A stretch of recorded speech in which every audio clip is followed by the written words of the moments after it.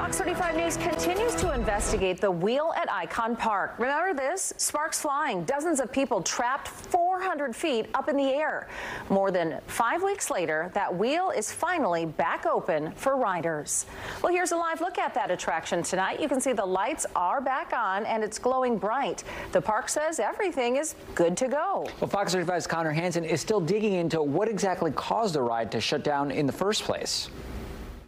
The wheel is lit up and it's spinning once again. You can see it here behind me. Icon Park says it's fixed and ready to go, but it hasn't said exactly what caused the ride to lose power on New Year's Eve. After seeing the video of sparks flying and people getting rescued, people we spoke to have mixed feelings about getting back on. On New Year's Eve, sparks flew from the massive wheel after the park says it lost power. Video from Orange County Fire Rescue shows firefighters climbing the attraction to rescue more than 60 riders. We turned to our right and we saw sparks, um, and then the power went out, uh, which was just extremely frightening. Corey Magnata was waiting in line, about to get on the wheel. We asked if she'd give it another chance. No, they actually did eventually refund our money. Uh, they did offer us that we could, you know, keep our tickets and and go back on another time. And nope, we, we took the refund. we won't be going on anytime soon. Others are ready to ride regardless. Yeah, I'd ride it. As long as I know that everything's changed on it and it's safe. Yeah.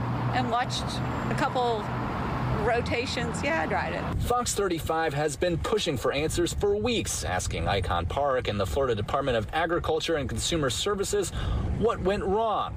Now that the ride is open, the owners of Icon Park say the ride's components were inspected, affected parts replaced and upgraded, and the ride has also passed all of its inspections.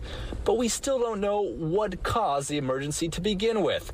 Why did the ride lose power? And what caused the shower of sparks above one of the gondolas?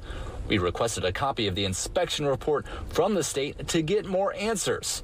Fox 35 has also been requesting an interview with the State Department in charge of inspecting attractions, as well as someone with Icon Park. Late this afternoon, we requested a copy of the inspection report. We've also been requesting interviews with both Icon Park and the state agency responsible for those inspections. On iDrive, Connor Hansen, Fox 35 News.